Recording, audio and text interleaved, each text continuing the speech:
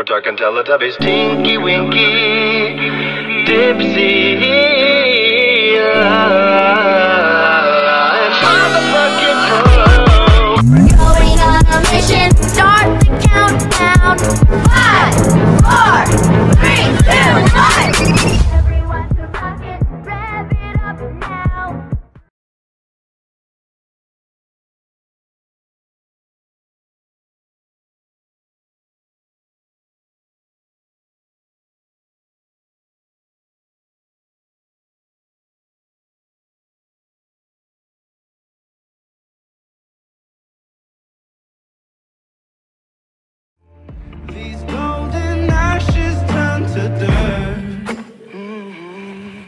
I've always liked to play with fire.